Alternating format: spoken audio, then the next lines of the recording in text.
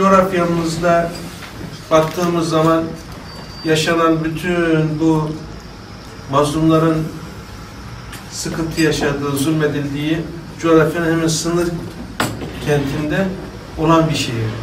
Önemli bir seçim. Değerli bir seçim.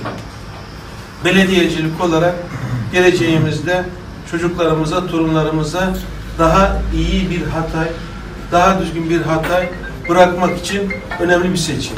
AK Parti Hatay Büyükşehir Belediye Başkan adayı İbrahim Güler seçim çalışmalarına başladı.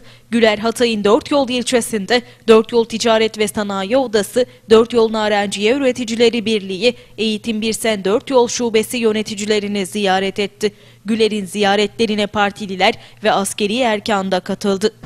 Az önce muhtarlarımızla buluşmaya gittiğimizde bir pankart gördüm. Büyükşehir Belediye Başkanı'nın diyor ki dört yolda asfalt çalışmaları tamamlandı hayırlı olsun. Sağa döndük baktık ki tamamlanmamış yani orada yollar hala duruyor sudan geçilmiyor çukurdan geçilmiyor. Su problemlerini görüyoruz musluktan su alamıyoruz. Bunları da biliyoruz. Yaylaların yolunu biliyoruz. Otogarın durumunu biliyoruz. Yapılabilecek bu sahile dört yollular olarak denize girebileceğin bir sahiliniz var iken giremeyip farklı yerlere gittiğinizi biliyoruz, görüyoruz. Bütün bunlar önemli. Ama bir şey daha var, hepsinden önemli.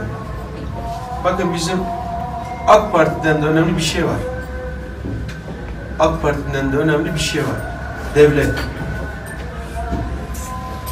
Hatay'da devletin gücü, imkanı, zenginliği, kaynakları milletle buluşmuyor.